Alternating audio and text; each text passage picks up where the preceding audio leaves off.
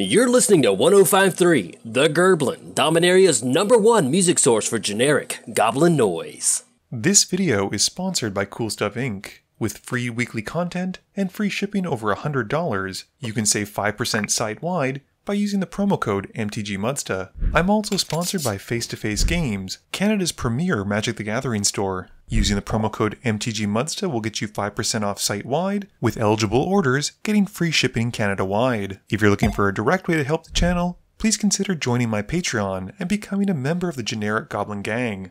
Hey gang and welcome back.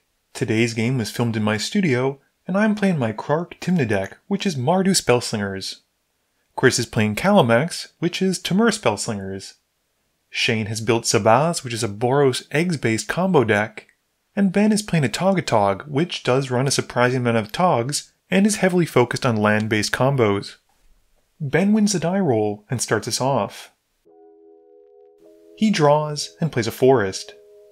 Chris copies him, playing a forest as well, but also casts a Birds of Paradise. Shane has a snow-covered mountain and casts Arcum's Astrolabe, drawing as it enters. I've kept the stupidest hand of my life, playing a Plains and casting Sol Ring. And then tap the Sol Ring for Mind Stone. Ben drops a swamp and pays 2 for Sakura Tribe Elder, sacrificing it to go and find an island. Chris has a mountain for turn and casts his own Sol Ring and passes. Shane plays Battlefield Forge and taps 2 for Talisman of Conviction. He's got enough for Zabaz, which is a palindrome by the way, and passes turn. I draw and crack the Mind Stone, drawing a card. I find another source of colorless sadly, and it's a Mana Vault, and I pass. Ben draws and pays 3 for Commander Sphere. Chris has an island and just casts Kalamax and passes. Shane draws and plays another snow-covered mountain. He plays a credit voucher, which he calls a bad scroll rack. And then drops an implement of improvement and ships the turn to me. I draw and still can't find a land, and my greed is super punished. I then have to pass to Ben because I'm bad at magic. Ben draws and plays a tap Valakut. He pays 3 for a Psychotog and passes to Chris. Chris has a Wasteland for turn which seems pretty good against that Valakut, and he taps 4 for a Stormkiln Artist. Shane plays another snow-covered mountain and activates and sacrifices the credit voucher. Once that's resolved, he moves to combat and hits me with his commander for 1. I draw and discard at the end of turn Faithless Looting, because being greedy has paid off so well for me this game. Ben draws and taps one of each color for Atogatog. He then swings the Psychotog at me, dealing 1 and passing. Chris goes to combat after drawing and hits Shane for 4 with Kalamax. With his commander now tapped, he passes to Shane. Shane has a Darksteel Citadel for turn, and then taps 2 for a Dockside Extortionist. In response, Ben sacrifices the sphere to draw a card, and the dockside then enters, making Shane 3 treasure tokens. He uses a treasure and taps a land to cast an Arcbound Reclaimer and passes. I finally draw my second land on like turn 6, playing an isolated chapel, which thankfully lets me cast Read the Bones. I quickly scry the top two cards to the bottom, draw 2, and lose 2. I then pass turn discarding Past in Flames to hand size. Ben plays a Plains and taps 1 for a Codex Shredder. He goes to combat and swings Atogatog at Shane, who blocks with a Dockside Extortionist. Ben then casts a Prismatic Omen in his second main phase and passes turn. At the end of turn, Chris casts Frantic Search. He gets to put a plus 1 plus 1 counter onto Kalamax and draws 2 and discards 2 and untaps 3 lands twice. He also gets to make 2 treasure tokens from the Stormkiln Artist. Chris untaps and draws her turn. He goes to combat, swinging Kalamax at me and dealing 5. He then taps 3 mana for Harrow, sacrificing the tapped forest, and gets 2 copies of the spell because his commander is tapped, going into his library to find 4 untapped basics. Plus, he makes 2 treasures from the artist triggers. He also gets to put a counter onto Kalamax. He's turned 3 mana to 6, which isn't bad. He then casts a Gruul Signet and passes to Shane. Shane draws and has been saying for the last 3 turns he'll help me out, but never does. He finally holds up on his promise, casting Reforge the Soul, and in response, Ben casts Assassin's Trophy and targets Kalamax. Chris says he's got a few things he wants to do before that resolves though, and the first of which is casting a Krosan Grip. He gets a copy of it and has lots of targets to choose from, and debates to just completely shut me out of the game by blowing up my mana rocks. He decides instead to blow up the Codex Shredder and Arcbound Reclaimer. Chris also gets a counter onto Kalamax and gets two more treasure tokens from the artist. Chris isn't done though, and casts a free deflecting swat, redirecting the trophy to take out Zabaz. With Shane's commander getting destroyed, he gets to go and find a basic.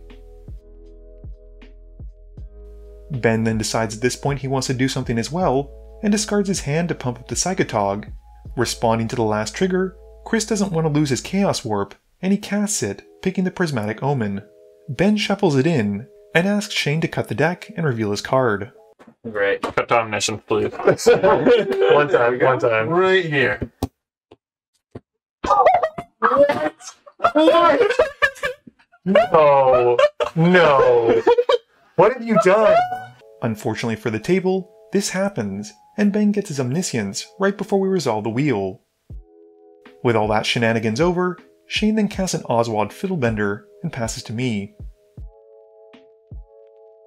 I play a Blood Crypt in my main phase as my land drop, taking 2 so it comes in untapped. I then pay 3 mana for Tymna and cast a Jeska's Will.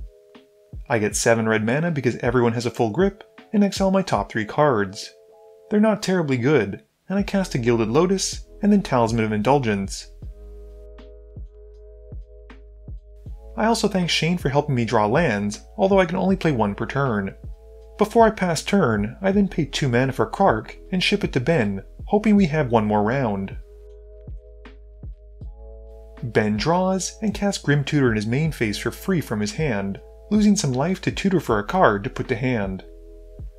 Ben then discards cards to Psychotog, pumping it, and exiles more cards from his graveyard to make it into a 12-13 once all is said and done. Ben then sacrifices the Psychotog to Atogatog, making it an 18-18. Ben then casts for free from his hand Return of the Wildspeaker, picking the mode to draw cards. Ben gets to draw 18 cards, and one of them is a Solemn Simulacrum, which comes in and finds him a tapped forest. He then casts a Demonic Tutor, and goes to find a Prismatic Omen again, which he once more casts. We then see a Thaumatog hitting the stack, and then the field, and he floats his mana before sacrificing all of his lands to pump it. He uses one of the floating blue for a Mystical Tutor, and goes to find Mystical Teachings and put it on top. Ben then casts Explore from hand, drawing a card and getting an extra land for turn. He plays an island before dropping down a Lithatog. Ben then casts a City of Solitude and sacrifices the Thaumatog to Atogatog, pumping his commander even further. Ben then casts Soul's Majesty, drawing a further 25 cards.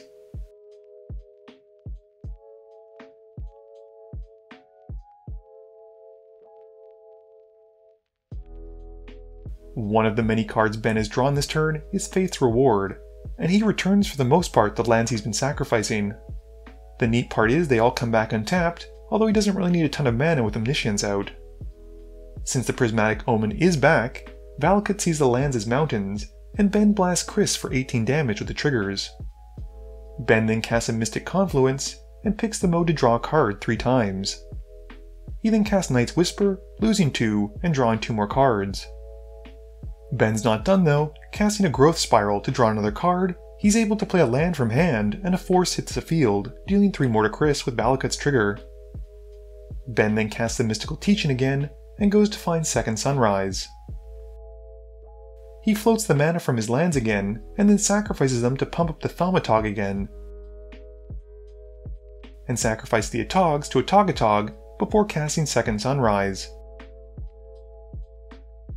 His lands come back again, and he takes Chris out with the Valakut triggers, and uses the spare one to take out Oswald. With his way clear now, Ben then takes out Shane with Atogatog, dealing well over 21 points of commander damage. Ben then once more sacrifices his lands and discards 13 cards to Psychotog before casting Planar Birth from his hand for free thanks to Omniscience. This allows all players to bring back all basic lands from their graveyard, and Ben is able to take me out with the Valakut triggers and win the game.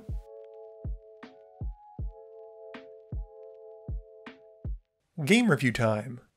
What madness did we just witness? My goodness, Ben, you monster. Although, you know what?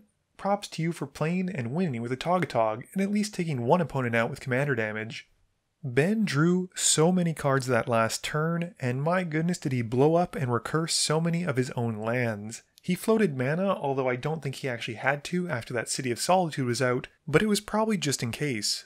I kept the worst opening hand of my life, and I got so greedy seeing those two mana rocks in hand. I thought for sure I would draw at least one more land and be able to cast that Read the Bones, but as you saw, it was only like turn 4 or turn 5 before that happened.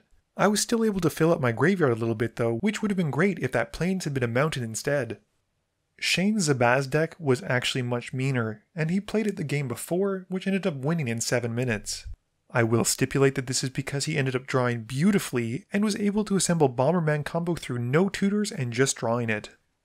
I think Chris has been traumatized after casting Chaos Warp twice that night, and both times he hit the card that he'd shuffled in, and in this case, Omniscience.